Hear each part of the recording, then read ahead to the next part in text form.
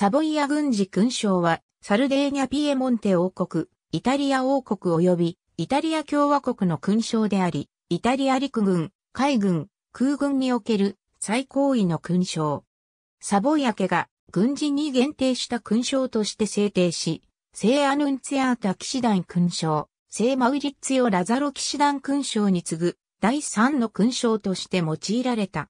共和制移行後は二つの騎士団勲章が公的な地位を失う一方、サボヤ軍事勲章はイタリア軍事勲章として存続している。サボヤ軍事勲章は1700年代末、ナポレオン戦争の動乱という南極で、サボイア家を率いていたサルデーニャ王、ビットーリオ・アメデオ三世が、軍人たちのロークを称え、称号を与えたのが始まりとされている。アメデーオ三世の息子、カルロ・エマヌエール4世の時代に、サルデーニャ・ピエモンテ王国はナポレオンにより滅ぼされるが、エマヌエーレ4世とその軍勢は、ピエモンテからサルデーニャ島に移り、抵抗を続けた。そしてその弟、ビットーリオ・エマヌエーレ1世の時代に給料を回復して、サルデーニャ・ピエモンテ王国を復興した。エマヌエーレ1世は、カラビニエリの創設など軍制度の改革を進めるが、その中で父が作った軍人たちをねぎらう慣例も制度化し、1815年8月14日にサボイア軍事勲章を制定した。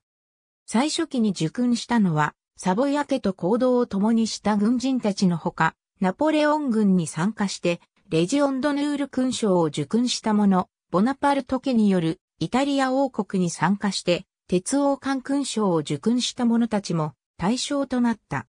その後もサルデーニャ軍の参加した戦争で活躍した者が受勲し、やがてサボイア家がリソルジメントでイタリアを統一すると、顕著な戦果を上げた者に与えられる武功黄金騎将と並んで、イタリア王国陸軍、海軍、空軍における最大の栄誉となった。